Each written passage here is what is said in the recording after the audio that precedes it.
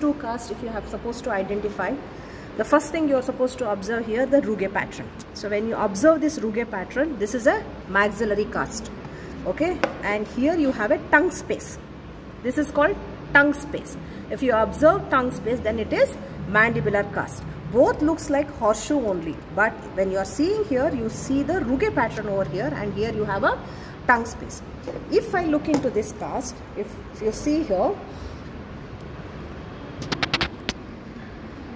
Always remember for a permanent teeth the tooth is bigger in size. For the deciduous teeth the tooth is smaller in size. If you go, if you see all these teeth are a small size tooth. And you should also see the total number of teeth in the deciduous dentition in an upper arch is 10 and each half of the quadrant consisting of 5 teeth. Okay, so if I divide the tooth like this, one half, one, two, three, there is a missing tooth over here, four, five okay so you have four teeth. One tooth is missing. And this side also one two three four five six. The other half you have six. The one half you have only five teeth. So always when you are we are representing a cast we are supposed to use for deciduous is a b c d e. Okay? For a central incisor we are using a. Okay? Lateral incisor b. And for the canine we are using c. This is the first molar deciduous molar D and this is a first second deciduous molar E. Just the tooth which comes after E is a first permanent molar. So when you are representing A, B, C, D, E, 6. So what is the age of this cast? 6 to 7 years. But there is a catch over here. 1, 2, 3, A, B, C. There is no D over here. Okay. So there is no D but the D is not there means it is not the eruption, it is not going to give a eruption pattern because only the 6 is erupted, first molar. This maybe the tooth has fallen off or like it has been extracted, removed due to the caries and all. So don't worry about this tooth. Okay, you can just write this tooth is missing. Okay, but what is the age of this cast? 6 to 7 years. Here the first deciduous molar is not there. Maybe it has gone because of extraction or the tooth may be missing. There are so many reasons for the missing tooth which we don't know. So when we are considering this maxillary cast you are supposed to tell that if you see this tooth this cast you are supposed to tell that per, uh, it is a mixed deciduous mixed dentition cast which consisting of a B one you have supposed to write an arch okay? And then you are supposed to write right side and the left side.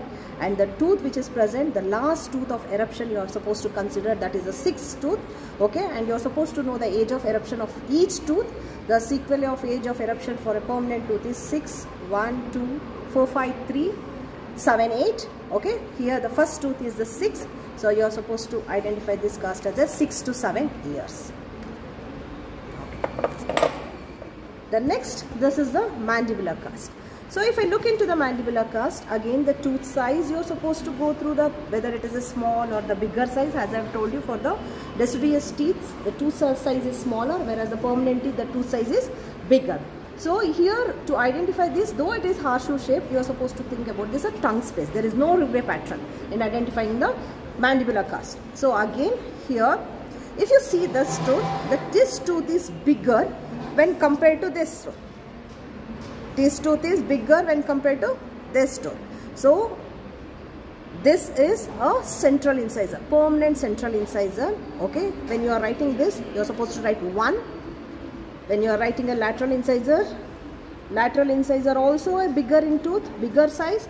2, this is also permanent, almost same. Okay, permanent tooth. 2, canine is a deciduous teeth. Okay, because the canine is the biggest anterior tooth but here this size is similar to that of the lateral incisor. So it is a deciduous teeth. Then here we are writing C and this is a deciduous mandibular first molar D deciduous mandibular second molar E and the last tooth which is erupted here is a 6 okay? So both the sides you can able to see the 6 tooth which is erupted but you all know that for the mandibular, the sequelae of eruption is 6, 1, 2, 3, 4, 5, 6, 7, 8. okay?